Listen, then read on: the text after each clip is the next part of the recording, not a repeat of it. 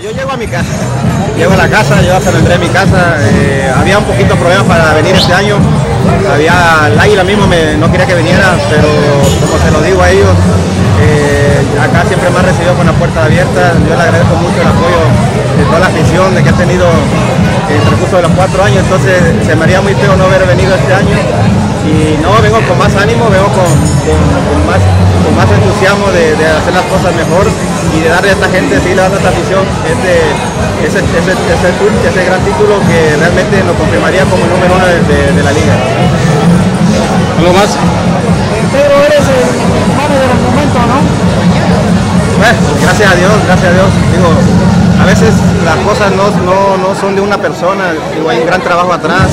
Gracias a Dios he sido muy bendecido este año, pero también por, por la gente que Dios me ha puesto en mi camino, como los directivos, como los jugadores. La verdad que aquí como en San Andrés, como en Veracruz, he tenido un grupo de muchachos extraordinariamente buenos, como deportivamente, como seres humanos, que hacemos un gran equipo.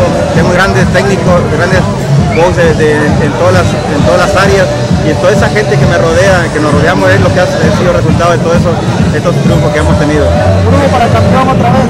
No, aquí no hay otra, se busca eso y se lo digo con lo más honestidad, la verdad que no es, no es por pecar de, de, de, de, soberbio, es la verdad que se busca eso, el equipo está, está hecho para eso, la afición se merece eso, entonces nosotros no podemos nada más que pensar en eso. La afición espera un triunfo mañana y con un gran equipo, contra un gran equipo. Sí, no, no, ojalá primeramente Dios nos dé el resultado, vamos contra nuestro rival, yo creo que mucha gente lo, lo, lo ha mencionado que es el clásico, yo creo que así es, ya Jalapa y nosotros es un clásico, es una guerra deportiva, claro, y yo creo que a, tra de, a través de todos estos años se, se ha manifestado así, y, y, mira, empieza la liga así, yo creo que sería darle una gran satisfacción a nuestra gente mañana dándole triunfo. Pedro, ¿cuál será la mayor fortaleza de Brujos en esta temporada? No, yo creo que como siempre, la mayor fortaleza de nosotros es, es el espíritu de, de, compañerismo, de la relación que se tiene con la afición. Todo eso nos hace muy fuertes acá y donde quiera que vayamos a jugar. Digo, sabemos que en cada línea tenemos buenos peloteros, pero creo que eso es lo que nos hace más fuertes. Ok, gracias.